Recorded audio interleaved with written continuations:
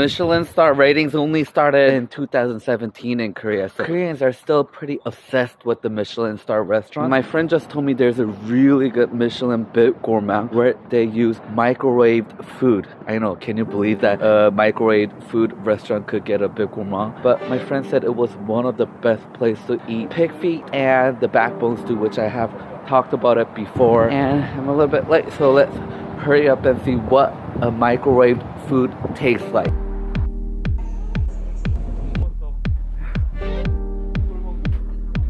근데 Michelin.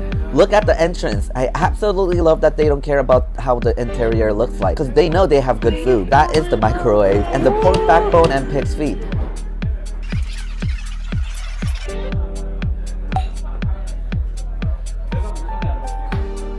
무슨 소주?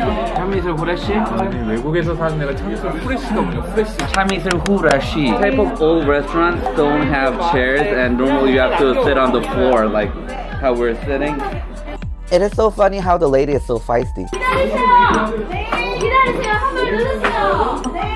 But in some weird reason, it kind of makes it feel like she is my mom talking to me with no boundaries, and for some reason, it makes you feel like home.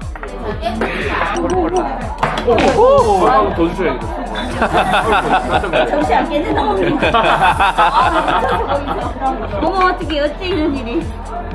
감사합니다. 감사합니다. So the pig's feet is microwaved before it is served. It can be odd, but I think it is pretty efficient, especially when the lady is so busy.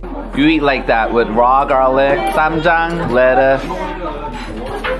Normally we don't put ramen in the backbone stew and rather have fried rice at the end. But Halmejib was a bit different.